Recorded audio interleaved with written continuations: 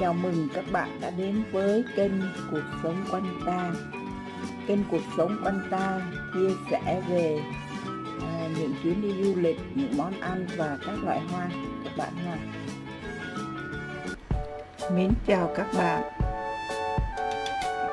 Các bạn ơi, cái hoa màu màu hồng, màu hồng phấn mà mình đang quay cho các bạn xem đây cái loại hoa này bây giờ là rất hiếm các bạn ha cái loại hoa này á nó có tên là hoa anh đào.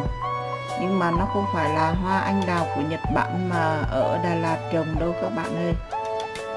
Mà cái cây anh đào đây á, là một cái loại cây mà để người ta trồng người ta làm nọc để trồng tiêu á, các bạn.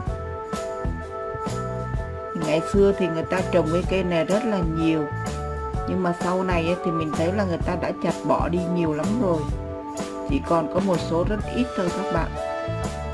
Mà cái loại hoa này á, là nó lại cứ vào những cái tháng mà cuối năm á, là nó cũng nở hoa.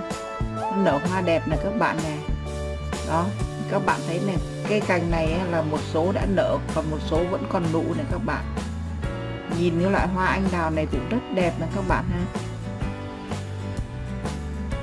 ngày xưa mà lúc mà nhà mình cũng có trồng một số cây này để trồng tiêu á các bạn. Thì cứ ờ, mỗi một mùa mà gần gần Tết là cả một cái vườn của nhà mình nó cũng được cái hoa, cái màu hoa anh đào này luôn đó các bạn.